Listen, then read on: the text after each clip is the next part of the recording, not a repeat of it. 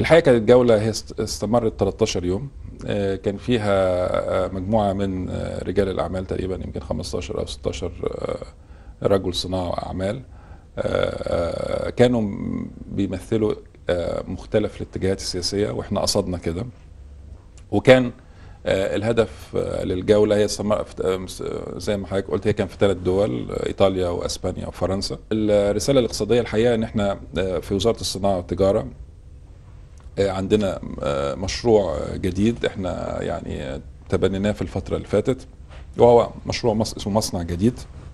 ببساطة آه، فكرته بتتلخص في إن أوروبا حاليا آه، بتعاني من آه، مشكلة آه، اقتصادية كبيرة آه، مشكلة ناتجة عن المنافسة الشرسة آه، من الشركات آه، الآسيوية اللي جاية من شرق آسيا وفي نفس الوقت عوامل المنافسة اللي موجودة في أوروبا النهارده آه، مش مشجعة على آه، أو ما فيهاش التنافسية اللي موجودة في آه، شرق آسيا ضرائب مرتفعة أسعار طاقة مرتفعة أسعار عمالة مرتفعة معدلات نمو ما هياش عالية. فكل ده أدى إلى يعني إن بعض أو كثير من المصانع بدأت تغلق أبوابها أو بدات تتأثر بشكل كبير. إحنا بنقول ببساطة شديدة هذا البرنامج اللي إحنا عاملينه بنقول إن إحنا يمكن آه، أن نكون آه، قبلة الحياة لهذه المصانع حتى آه، تقدر تستمر. وإذا إذا ابتديتوا إن أنتوا النهارده تفتحوا معانا شراكات بداخل مصر. لكننا نعلم جميعا أن هناك حالة من عدم الاستقرار السياسي والأمني. ما الذي يمكن أن يجذب المستثمر الأوروبي لمصر خلال هذه المرحلة؟ مصر ما زال ال-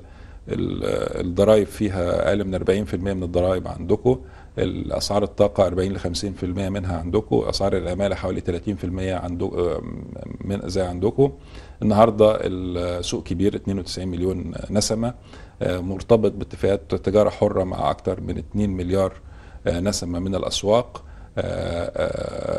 مصر بها معدلات نمو مرتفعة غير عندكم خالص وأغلب الشركات الأوروبية العاملة هنا بيسموها double digit growth يعني بت- بتنمو باكثر من 10% وفي آه، يعني في شركات ضربوا لنا بيها الأمثلة. في فرنسا بت- بتنمو ب 40 و50% هنا في مصر. فمصر آه، سوق استثماري واعد بشكل حقيقي بها مؤسسات مستقرة آه، مؤسسات مصرفية مؤسسات في كافة المجالات. وده ممكن ما يكونش موجود في دول كثيره محيطة. وما هو تقييمكم لنتائج هذه الزيارة؟ على سبيل المثال بس في هذه الزيارة يعني لو أدي لك أمثلة إحنا عندنا تسع مصانع من الناس اللي حضروا معانا. أبدوا آه، رغبة حقيقية في الانتقال وقالوا لنا إحنا إحنا جايين. قالوا لنا إحنا إزاي نحجز أرض إزاي نطلع التراخيص. آه، ومصانع دي في مجالات صناعات هندسية صناعات آه، جلدية آه، صناعات آه، أيضا آه، كان هناك اهتمام من المطورين الصناعيين في إيطاليا بإنشاء منطقة صناعية تحديدا في منطقة العلمين. وطبعا إحنا عارفين منطقة العلمين ليها أهمية تاريخية آه، بالنسبة لهذه الدول.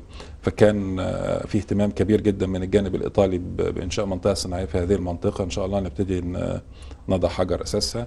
أيضا الجانب الأسباني أبدى اهتمام كبير بإنشاء منطقة صناعية في منطقة روبيكي. آه، لتكون المرحلة الثانية للمدينة الجلدية بعد المرحلة الأولى اللي أنشأها الجانب الإيطالي واللي إحنا بنسلم في بنخصص في أرض أرضها في, في هذا التوقيت. فلا الحقيقة زيارة مثمرة جدا على الجانب الاقتصادي.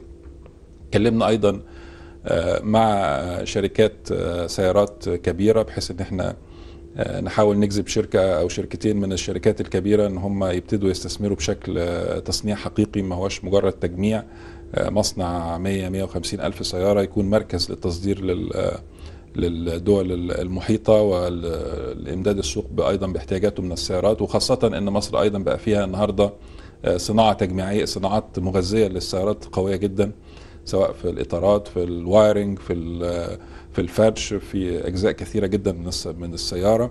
فالحقيقة برضو اتكلمنا في هذا الإطار. لا الحقيقة يعني أنا شايفها زيارة مفيدة جدا.